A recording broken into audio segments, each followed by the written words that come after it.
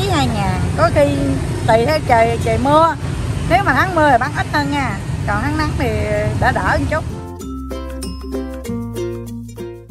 Khoảng 23 hoặc 24 năm.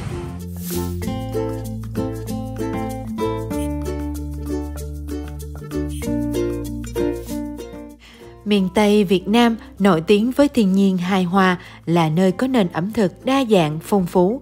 Nếu có cơ hội đến đây, bạn không nên bỏ qua ẩm thực ở thành phố Cần Thơ, một trong những nơi mang đậm phong vị của người miền Tây chân chất một trong những địa danh thu hút khách du lịch nhất tại miền Tây chắc chắn phải kể đến Cần Thơ, nơi có thiên nhiên xinh đẹp và một nền ẩm thực phong phú đa dạng và một trong những món ăn mà bạn không nên bỏ lỡ khi đến với Cần Thơ đó là bún mắm.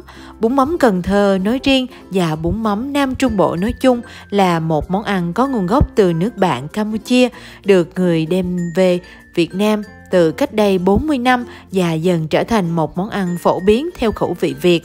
Bún mắm được người dân đồng bằng sông Cửu Long rất ưa thích bởi món ăn mang đậm hương vị của đồng quê, gần gũi với khẩu vị của người Việt.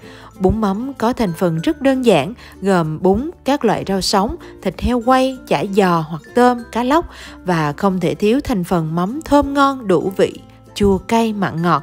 Tất cả tạo nên một sự thú vị về phần nhìn và cả phần nếm.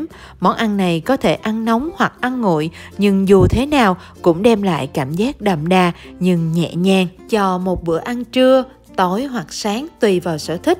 Và Cần Thơ chính là địa phương đi đầu trong việc chế biến bún mắm ngon. Hôm nay mình sẽ giới thiệu đến với các bạn một quán bún mắm ngon, lâu đời với hơn 20 năm và chất lượng ở Cần Thơ đó chính là bún mắm 173.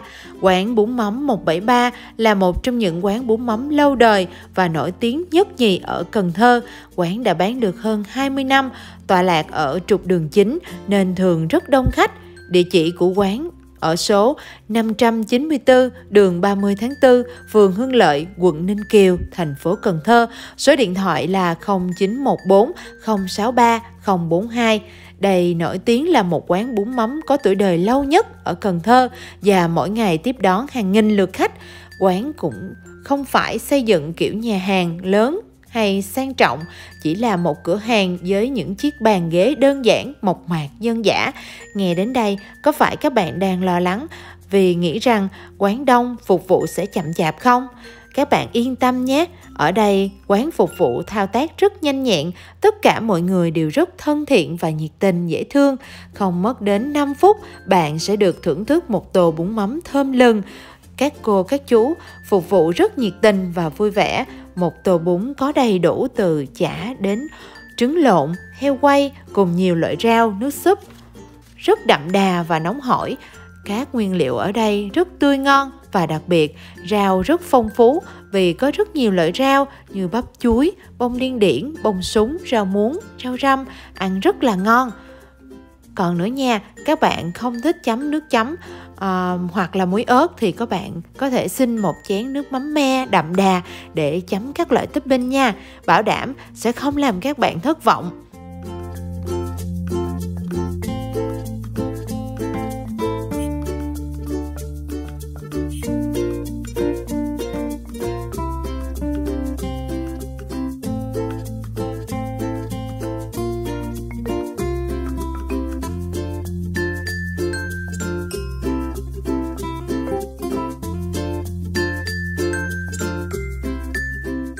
Với một khối lượng rau, thịt, tép, chả, mực như các bạn đã nhìn thấy.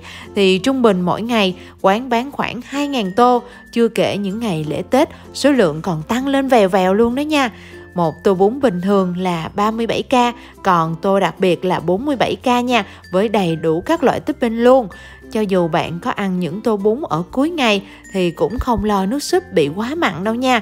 Mình ăn vào lúc 7 giờ tối, nhưng nước súp rất ngon khách vào ăn cũng còn khá là đông luôn Ở quán có nơi đậu xe khá là an toàn và không gian thoáng mát, dù chỉ là những chiếc bàn nhỏ sắp liền kề với nhau chứ không phải là những chiếc bàn cao. Trong một căn phòng tiện nghi nhưng chính sự bình dân ấy lại tạo nên một chất lượng đúng điệu cho một món bún miền Tây dân dã. Nếu có dịp ghé thăm Cần Thơ, nhất định bạn không nên bỏ lỡ tô bún mắm đậm đà, thơm lừng ở quán bún mắm 173 nha.